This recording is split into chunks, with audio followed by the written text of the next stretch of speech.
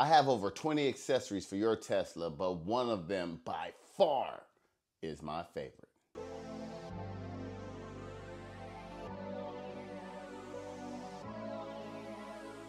Welcome, welcome, welcome to the Kobra Pit. 20 accessories might sound like a lot. Some are functional, some are cosmetic, and some satisfy both needs. I'll give you a rundown and a link to everything I picked up in the description. The Model 3 Standard Range Plus does not come with floor mats, so you might want to pick up floor mats.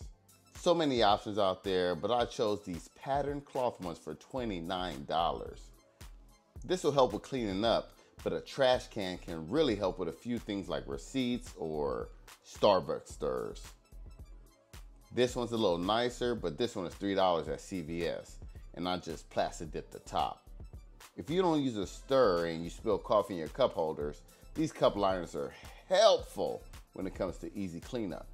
Or if you're not big on a single use of plastic, you can reuse them, store them next to your glasses, and change in this handy and OEM looking tray. It also keeps the contents below a little hidden. Since we're trying to protect valuables from the average passerby, a USB hub can not only organize your cables, it can add to the number of USB ports you have for things like this double phone wireless charger from TapTaz that can also charge in landscape mode if your car didn't come with one. Also neatly tucked away is your flash drive that saves all of your SentryCam footage. This one easily plugs into your iPhone to play back footage while you're on the go. I love the app SentryView to easily sift through and watch the footage when I'm not using the in-dash display. Speaking of this display, I recommend you put a screen protector on it because of how far it sticks out from the dash. I love using this one from Abstract Ocean because its guiding frame helps with the installation.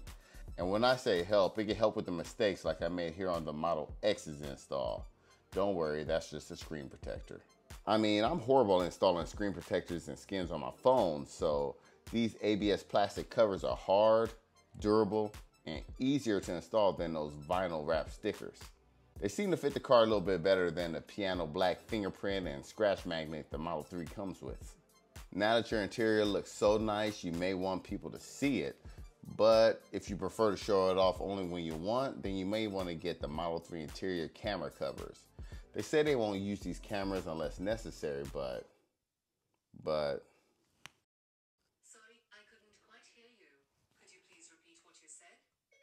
See what I'm saying?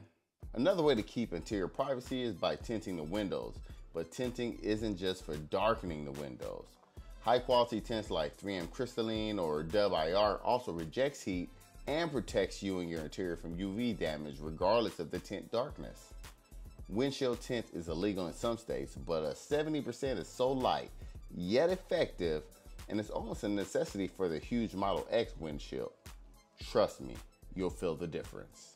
Here's a pro tip. If your installer tells you that they can't do the Model X's front windshield or the Model 3's rear window all in one piece, find another installer. See, tint isn't just cosmetic, like something like um, powder coated rims, or like chrome deleting your car to give it that subjective stealthy look. I paid a pro for the X's chrome delete, but I did the threes myself. And it wasn't as hard as you would think. It's not perfect, but it's doable. Click this video to see how you could do so as well. I'm still deciding whether or not to add this SpaceX decal to the back or not.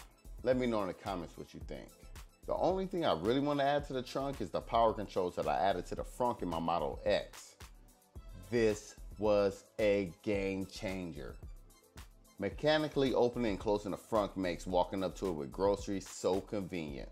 So many Tesla owners ask me about this when they see it in public. I use the key fob to open it and these cases make you feel a little more comfortable holding that little fragile fob. And yes, I got a key fob for my Model 3. For whatever reason, I have the hardest time with my phone's Bluetooth connection to the car. This helped out a lot. Just like this charging cable organizer helps keeps the cable off the ground.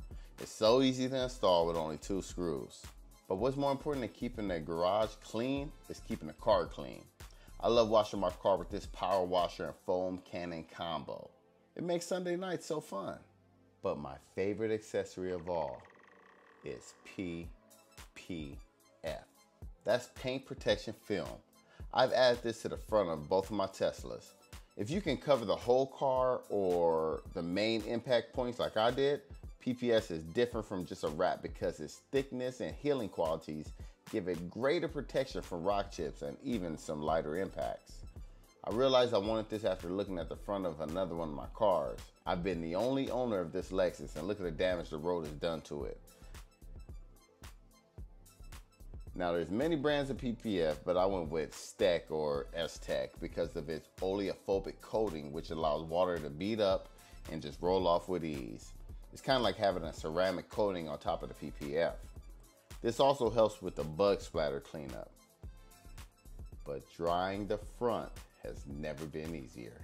I use this WORX leaf blower to quickly remove any water after rinsing the car. This almost makes me want to get the whole car covered, but the price changes my mind. If you're in the Southern California area, I highly recommend going to AeroWorks. They also do chrome delete, powder coating, and much more. Tell them Kobra told you. The information is in the description along with all the items I mentioned in this video. If you have any other top accessories that you recommend, let me know in the comments. Thanks again for watching and I appreciate every single one of y'all. Don't forget, Kobra told you. All right, y'all.